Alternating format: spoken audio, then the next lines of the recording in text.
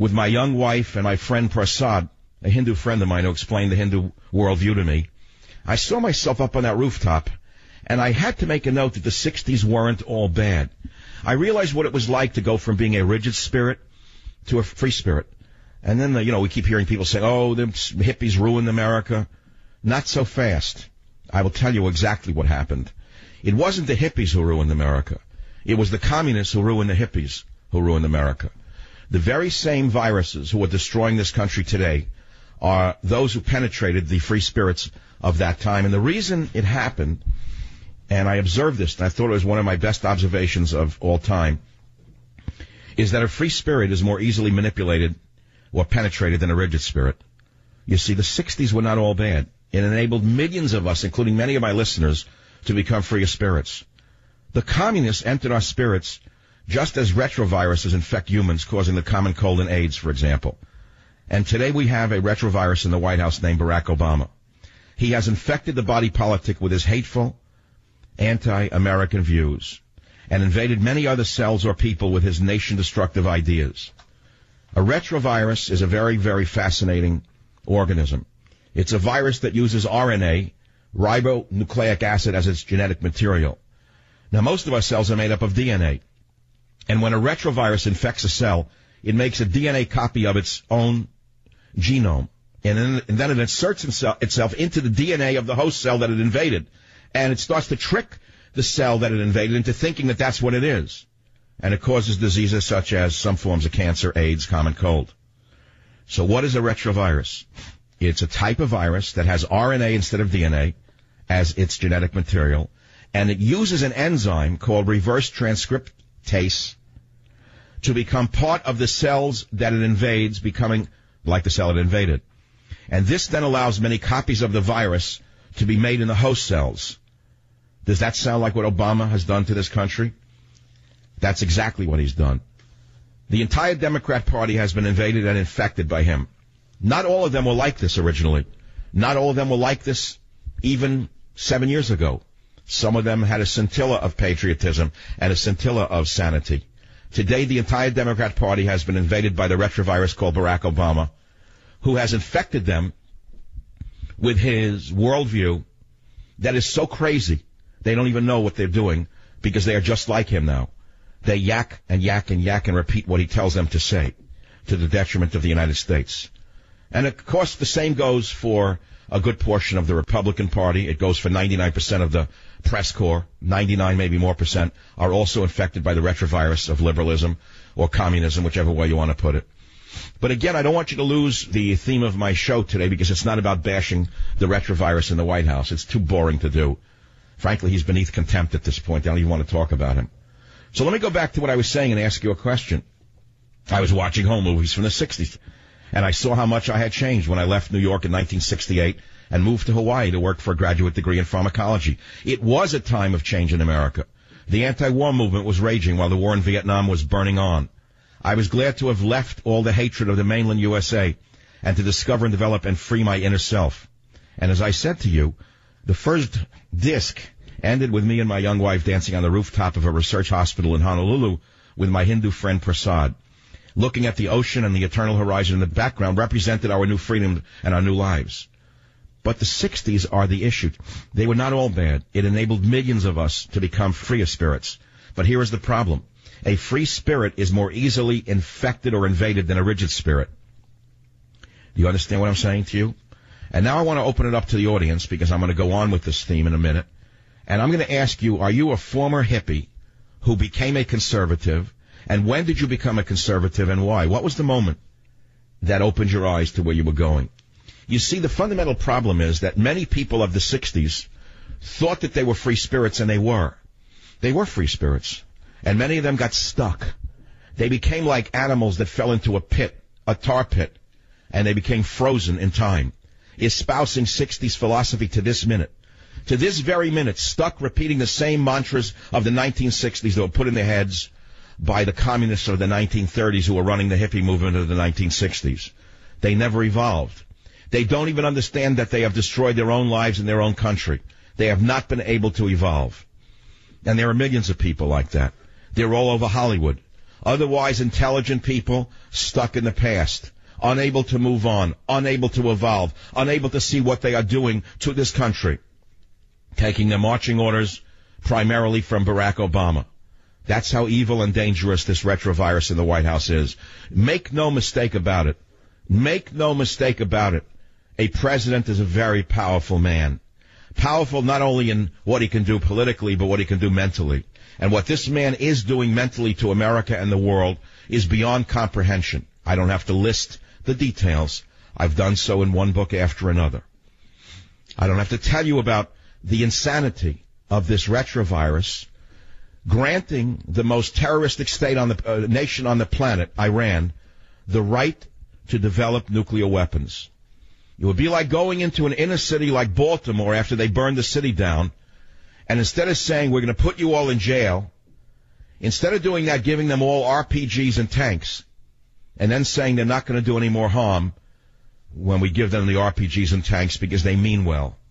That's what Obama is doing. Now you have to say, is he crazy? Is the man out of his mind? Or does he know what he's doing? Is he a secret agent of Iran? Has uh, Iran, is Iran the country that put him in power to begin with? Is Iran that powerful? Do they run this this thing of ours called our government media complex so much so that we don't even know it. How would we know how deeply this goes? I'm not that good a novelist. I didn't write The Manchurian Candidate.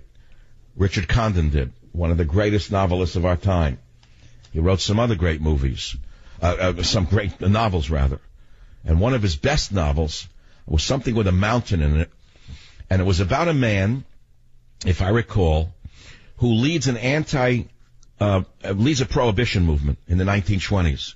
He's a criminal, a gangster, a member of organized crime. And he sets up a hysteria in America against the dangers uh, uh, of alcohol. And he's one of the leaders of the prohibition movement. He stirs up the Christians and he gets the Christian ladies screaming against alcohol. And before long, uh, the Volstead Act is passed and alcohol is banned and he then makes a fortune in organized crime by selling alcohol illegally because the prices go through the roof. That was also written, written by Richard Condon. And it reminds me very, very much of what games are being played in our country today. Well, I've gone on a little while today on hippies and how the hippie movement was uh, uh, hijacked by the communists. And I happen to know, I know very well, that the reason my audience is different, and you hear it in some of the calls sometimes, is because I have an awful lot of former liberals who awakened to what they were, what they are, what they were doing, and became rather conservative, patriotic, however you want to put it, because they realize what's happening to the country. I have a tremendous audience of people who are politically, they think, on the other side of the aisle, but there's something in my voice, in my delivery, uh, my memories, dreams, and reflections, if you want to put it that way, that resonates with them. And they like me, but they don't like my politics, but they listen anyway. They don't understand where they are politically. They don't understand what happened to them. They don't understand how antiquated their philosophies are. They don't understand how destructive a liberalism actually is. They don't understand it. They truly don't understand it. And so I ask you, were you a hippie in the 60s, or, I would say 60s, early 70s, who became conservative?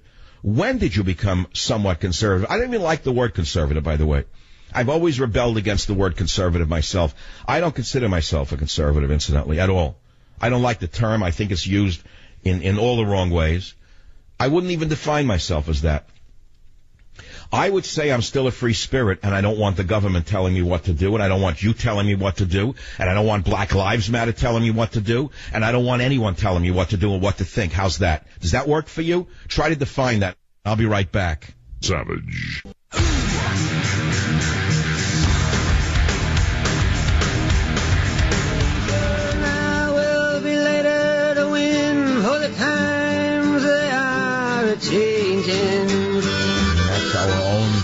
American prophet Bob Dylan, one of the greatest poets of, of all time, frankly, a great musician and a prophet. I don't know who wrote the lyrics. I think that's his song, but nevertheless, boy, was that prophetic. And so now we're dealing with a retrovirus in the White House. And I explained what a retrovirus is, but I didn't finish my discussion of this invader and what it does. Once it invades a healthy cell through a kind of enzyme, that tricks the cell, an enzyme called reverse transcriptase. It starts to produce DNA from, from its own RNA and reverses the usual pattern of cell replication. And then the new DNA is incorporated into the host cell. And the host cell that, that has been invaded does not even know it's been invaded. And it starts to act like the, uh, like the invader. And here's the bad news about Obama and what he's done to this country and the world. It is very difficult to detect the virus until it has infected the host. But at that point, the infection will persist indefinitely. It's hard to believe, but he's so clever.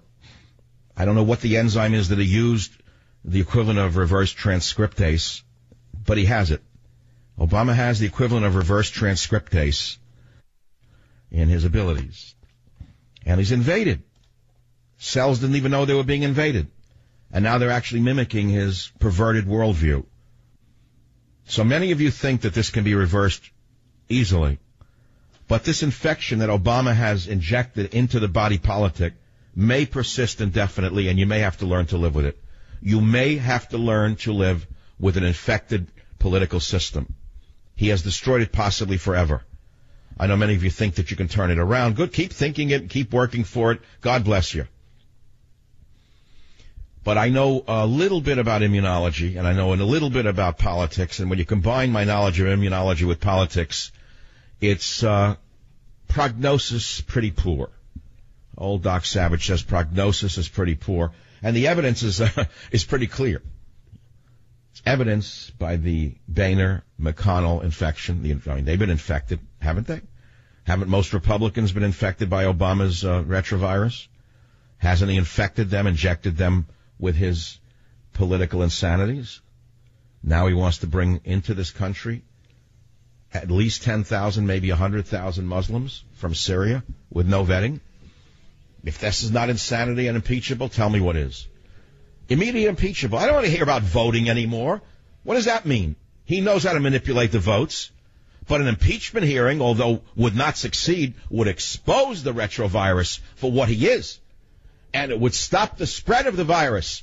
We're living in interesting times where each man literally has to save himself. We have no authority figures to believe in. We have no government to believe in. That's why I wrote Government Zero, and it's not an infomercial. Government Zero. No borders, no language, no culture. The book is on Amazon.com, BarnesandNoble.com, and I made a commitment which I should repeat right now all of the royalties that I make on that book, and I'll repeat it again, write it down. Any and all royalties I make on that book will be given to my Savage Scholarship Fund for deserving college students going forward. That will be one of the things I leave as my legacy after my radio career. Savage.